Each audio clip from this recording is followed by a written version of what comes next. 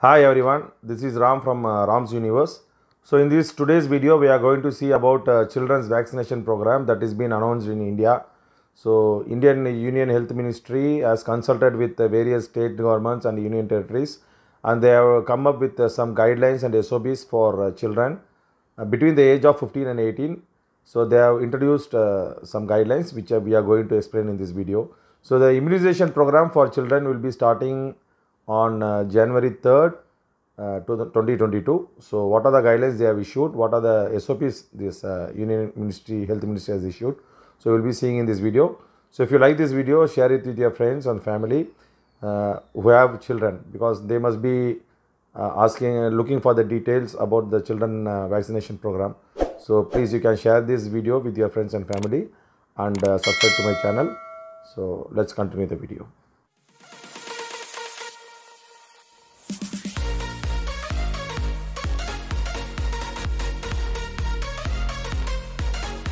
So the first one is uh, we are all be thinking at what age children can take the vaccine.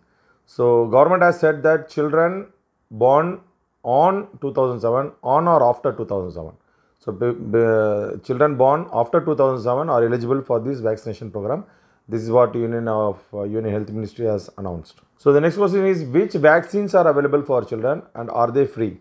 So only one vaccine is available uh, for children in India that is Bharat Biotech's Covaxin which is uh, available for children between the age of 15 and 18 and in all the government hospitals this vaccination is available for free.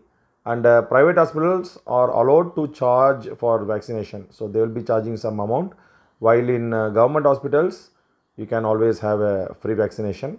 So this is what government has announced. So how can a child how can children uh, register for the vaccination?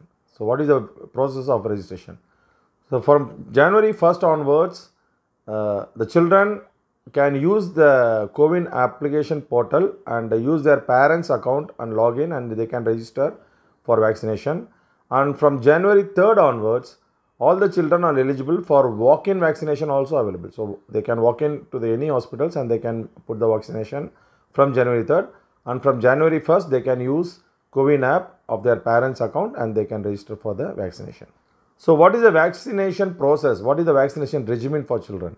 So, first of all, the, after getting the dose, after getting the vaccination in the hospital, the hospital authorities or doctors they will say you need, the children have to wait for 30 minutes in the hospital to monitor their uh, health, like to monitor their is there any adverse effect of the immunization what they have taken.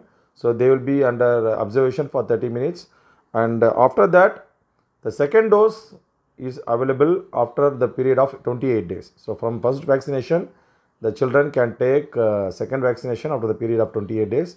So this is what the Union uh, Health Ministry has announced. So this is what I thought of updating you. So if anybody watching this video from other uh, states apart from uh, Tamil Nadu, so please uh, share this video with your friends and family and support my channel.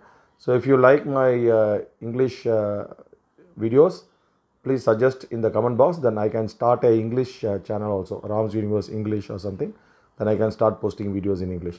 So let me have your opinion and suggestion in the comments box. Till then it's ram signing off. Uh, support my channel by subscribing and uh, share this video with your friends and family. Bye everyone. Take care. Good night. Thank you. Bye